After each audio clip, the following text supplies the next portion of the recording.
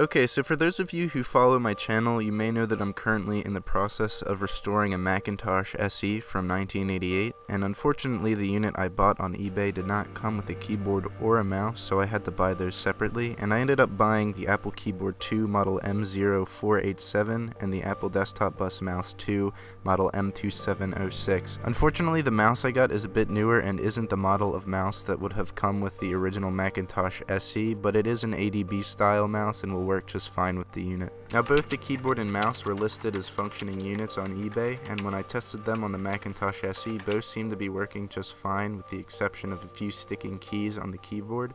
However, comparing them to the white case of my Macintosh SE, it was apparent that their plastics had yellowed over time, and both of them had a few scuffs and scratches and were overall pretty dirty and needed a good cleaning.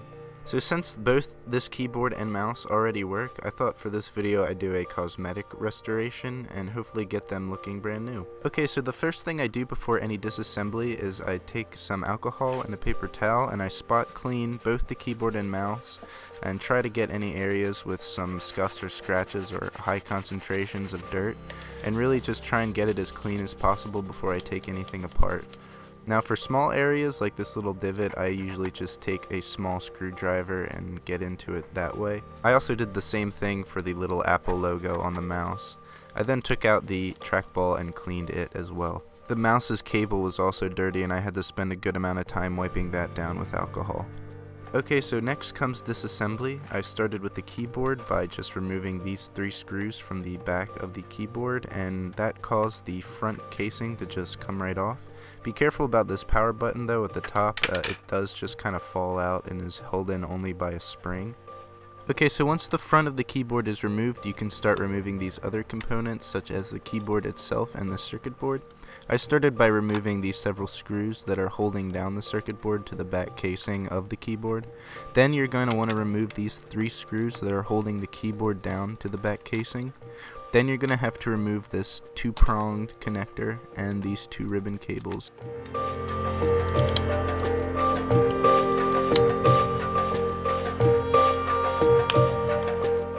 Once that's done, you can just slide the keyboard itself right out. Then you can remove the circuit board by just lifting it gently from the two ADB ports. Next came removing the keys from the keyboard itself. It's pretty important to lift straight up when removing these keys because there's some plastic at the bottom that you can break off if you lift it at an angle.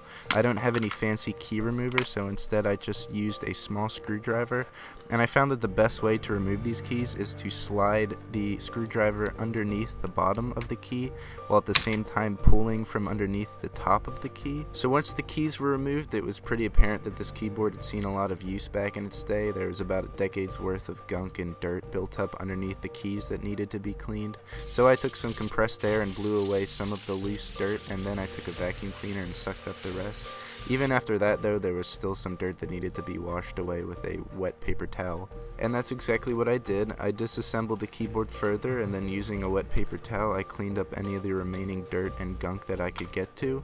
And as you can see the end result is a lot better than what I found when I removed all the keys. I also took this time to hand clean some gunk off the metal plate that was on the back of the keyboard itself.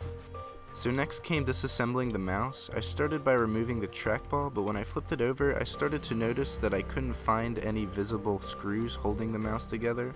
So hoping that it wasn't held together by some sort of glue or epoxy, I started feeling around the decal at the bottom of the mouse and found two divots.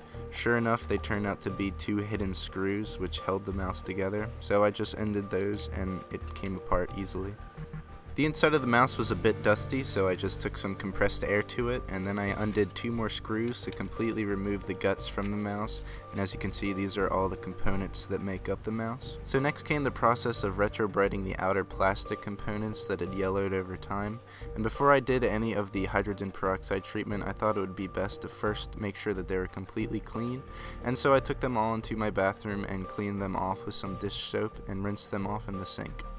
Once the components were dry, it was then time to start the hydrogen peroxide treatment. This will reverse the yellowing of the plastic, and I used the Salon Care 40 volume hydrogen peroxide cream that a lot of people who do retro restoration projects recommend. The RetroBrite process itself is pretty easy. All you have to do is lay out plastic wrap and cover it in an even coating of the hydrogen peroxide cream.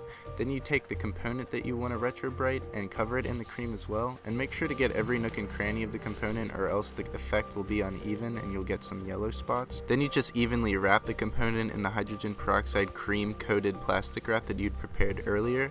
For this project I decided to treat all of the individual keys of the keyboard, the top and bottom case of the keyboard, and the two pieces that make up the mouse.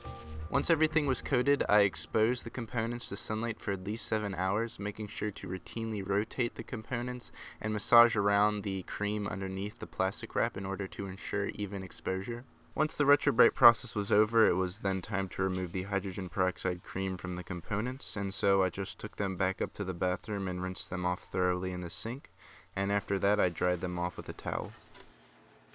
And once the components were 100% dried, the last thing to do was to reassemble the keyboard and mouse.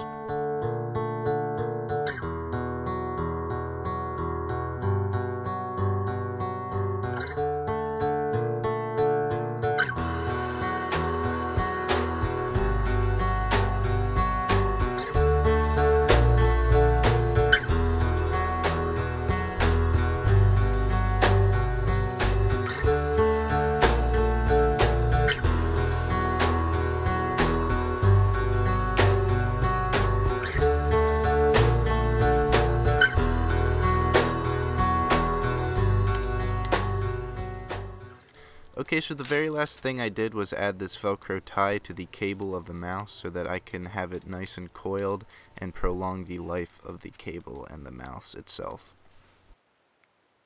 And here it is, the finished product of this project. As you can see, the keyboard and mouse look almost brand new. Here are some before and after pictures of the keyboard and mouse.